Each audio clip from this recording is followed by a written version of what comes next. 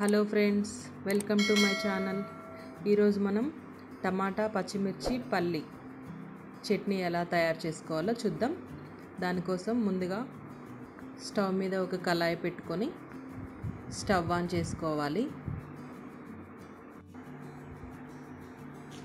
ఇప్పుడు కొన్ని పల్లీల్ని వేయించుకోవాలి.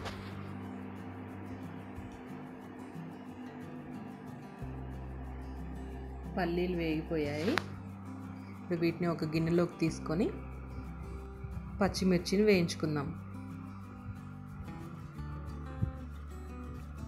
కొంచెం ఆయిల్ వేసుకొని పచ్చిమిర్చిని వేయించుకోవాలి. పచ్చిమిర్చి వేగిపోయినాయి. ఇప్పుడు టమాటాలని వేయించుకుందాం. దీంట్లో కొంచెం చింతపండు ఒక స్పూన్ పసుపు వేసుకొని కలుపుకోవాలి.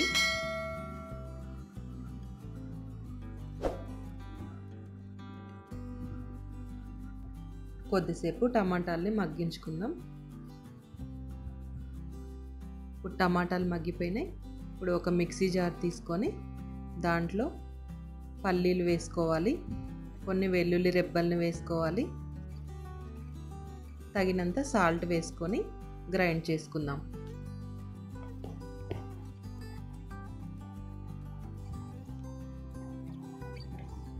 పల్లీలు గ్రైండ్ అయిపోయాయి. ఇప్పుడు పచ్చిమిర్చిని వేసుకొని గ్రైండ్ చేసుకోవాలి. పచ్చిమిర్చి కూడా గ్రైండ్ అయిపోయాయి. నెక్స్ట్ టమాటా ముక్కల్ని వేసుకోవాలి. ఇప్పుడు ఒకసారి గ్రైండ్ చేసుకుందాం. ఇప్పుడు తాలింపు పెట్టుకుందాం. స్టవ్ మీద ఒక గిన్నెను పెట్టుకొని గిన్నె వేడెక్కాక తగినంత ఆయిల్ వేసుకోవాలి. ఆయిల్ వేడెక్కాక కొన్ని ఎండుమిర్చిని వేసుకోవాలి. తాలింపు గింజలను వేసుకోవాలి.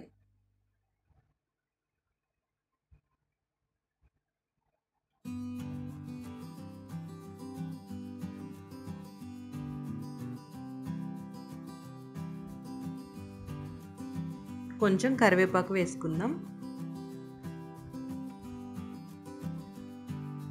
తాలింపు రెడీ అయిపోయింది.